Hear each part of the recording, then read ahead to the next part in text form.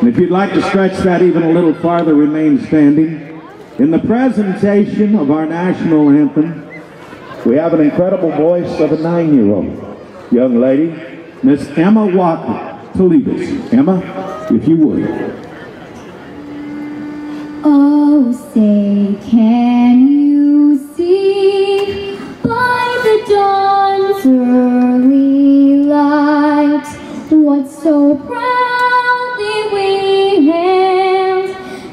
the twilight's last gleaming, whose broad stripes and bright stars through the perilous fight o'er the ramparts we watched were so gallantly streaming,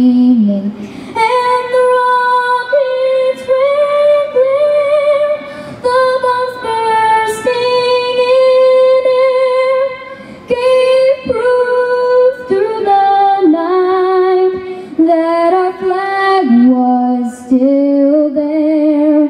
Oh, say does that star-spangled banner